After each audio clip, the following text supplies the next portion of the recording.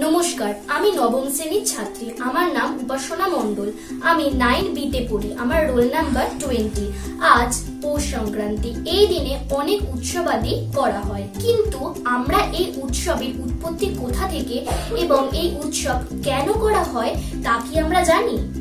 এই বিষয়ে আমাদের বিদ্যালয়ের নবম শ্রেণির ছাত্রী দীপা সাঁতরা কিছু বলবে। আমি শিউলি বালিকা বিদ্যালয়ের নবম শ্রেণির ছাত্রী। আমার নাম দীপা সাঁতরা। আমার roll number six Poush Sankranti উৎসবটিকে Makar সংক্রান্তিও বলা হয়।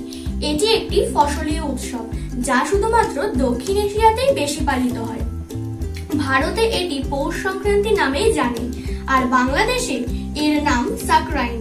নেপালে এটি পচিত মাঘি বলে জানে। থাইল্যান্ডের সংক্রান্ত লাওসে পিমালাও।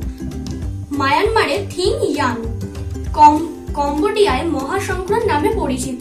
মকর সংক্রান্তি হলো এমন একটি উৎসব যাকে ঘিরে এই উৎসব পালিত হয়। প্রাচীনকাল থেকেই এই উৎসব চলে আসছে। তবে সুস্পষ্টভাবে কোনো তথ্য পাওয়া যায় না। হতে পারে এটা হাজার হাজার বছর ধরে এই উৎসব বা তার আগে থেকেও এর উৎসবটা চলে আসছে।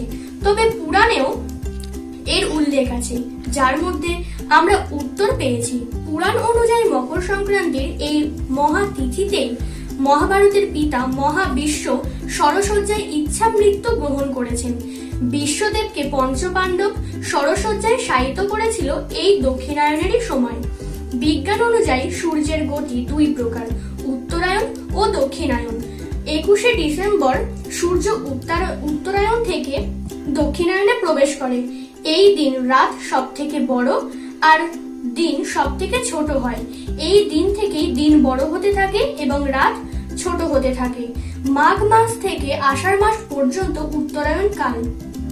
আবার শ্রাবণ থেকে পৌষ মাস পর্যন্ত দক্ষিণায়ন কাল। আর এই পৌষ মাসে সংক্রান্তিতেই বলা হয় পৌষ সংক্রান্তি বা মকর সংক্রান্তি।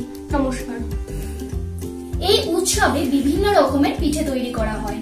এরই কিছু অংশ দেখাতে আসছে। আমরা শিউলি বালিকা বিদ্যালয়ের ছাত্রী আমার নাম শ্রেয়সী চক্রবর্তী আমি ক্লাস নাইন এতে পড়ি আমার রোল ফর্টি টু নমস্কার আমার নাম দীপাঞ্জলি চন্দ্র আমি ক্লাস নাইন এতে পড়ি আমার রোল সেভেন আজ এই পৌষ পার্বণের দিনে আমরা আপনাদের সামনে এই দুধপুলিটি উপস্থিত করেছি।